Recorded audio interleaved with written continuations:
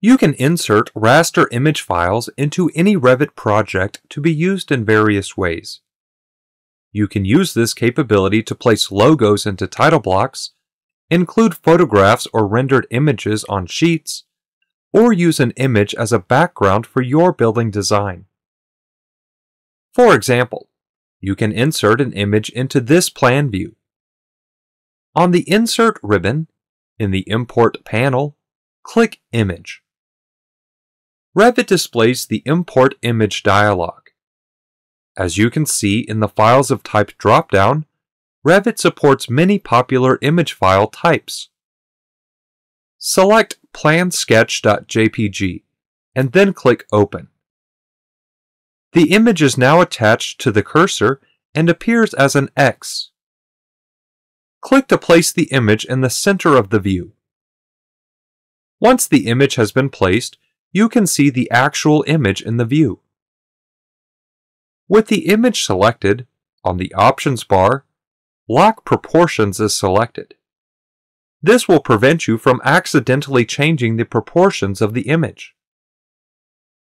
When you click and drag one of the corner grips, the entire image rescales equally.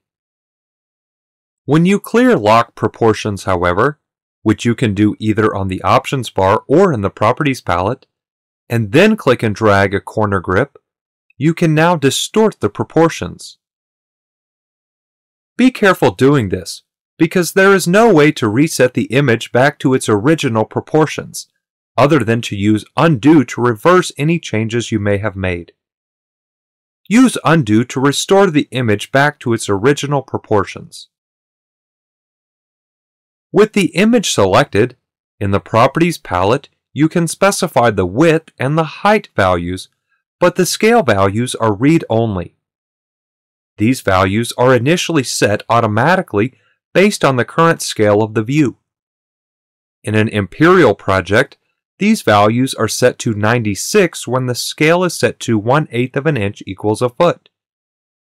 In a metric project, with the view set to a scale of 1 to 100, the scale values would be set to 100.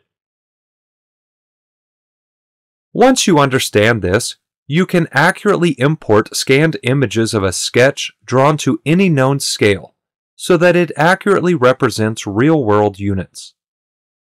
You can also easily scale an image after it has been inserted to match the length of a known feature in the sketch to its actual length. For example, zoom into the upper left corner of the image. From the Measure panel, start the Measure Between Two References tool and measure the length of this wall. Based on the sketch, it appears that this wall is approximately 10 feet 6 inches long, or 3,400 millimeters in the metric file. But say that you know this wall is supposed to be 12 feet, or 3,600 millimeters long. With the image selected, from the contextual ribbon, in the Modify panel, start the Scale tool. Revit prompts you to click to enter the origin. Select the left end of the wall. Then, Revit prompts you to click to enter the drag point. Move the cursor toward the right end of the wall until the dimension reads 10 feet 6 inches, or 3,400 millimeters, and click. Then Revit prompts you to click to enter the new position.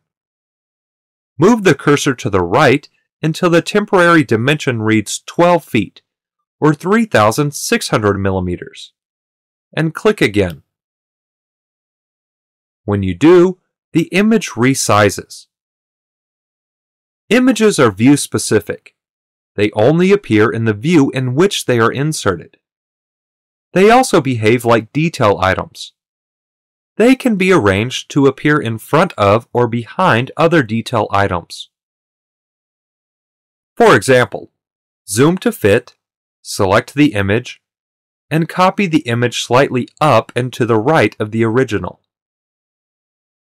With the new image selected, in the Arrange panel, choose Send to Back. Now the new copy appears to be behind the first one. Also, with an image selected, on the Options bar or in the Properties palette, you can use the Draw Layer parameter to control whether the image is in the background or the foreground. When it is set to the background, any Revit elements you place will be in front of the image. For example, zoom into the left side of the image. From the Architecture ribbon, in the Build panel, start the Wall tool and then place three walls by tracing over the image. Then, start the Door tool and ensure that Tag on Placement is selected. Place a single door. Then, click Modify to end the command. See how the new walls and door appear to be in front of the image? But when you select the image, and then use the tool on the Options bar to move the image to the foreground, you can no longer see the wall and door elements. Although, you can see the door tag. With the image still selected, you can click in the Draw Layer field and then move the image to the background so that you can once again see the walls and the door. Images do not appear in the project browser. In order to keep track of images, you can create a view and name it to indicate that it contains an image, and then place that view onto a sheet, rather than placing images directly onto a sheet. For example, in the project browser, scroll down to the Sheets branch, right-click, and add a new sheet to the project.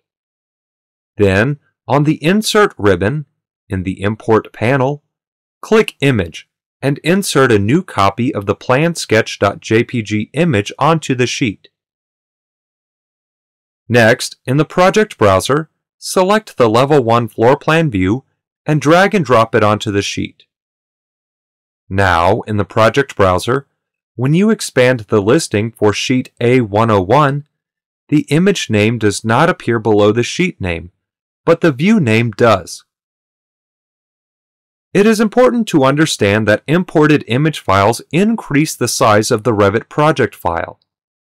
Revit provides tools to help you manage imported image files, and you can delete any files that are no longer needed. To manage image files, on the Insert ribbon, in the Import panel, click Manage Images. Note that this tool also appears on the Manage ribbon in the Manage Project panel.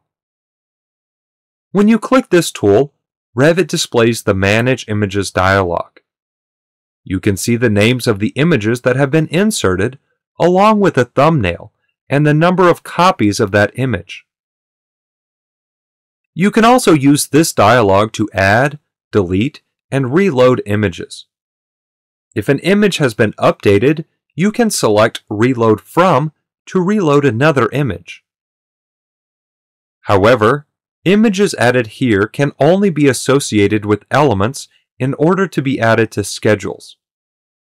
In other words, if you click Add and import an image, there is no way to add it to a view as you did using the Image tool. Since you inserted the same image a second time, Revit assigned it a separate name. Select the first instance of the PlanSketch.jpg image file and then click Delete. Revit displays a warning to let you know that there are two instances of the image that will be deleted. While you can expand the warning, the Show option is not available. Click OK to delete the image, and then click OK to close the dialog. Now the view you placed on the sheet no longer includes the imported image.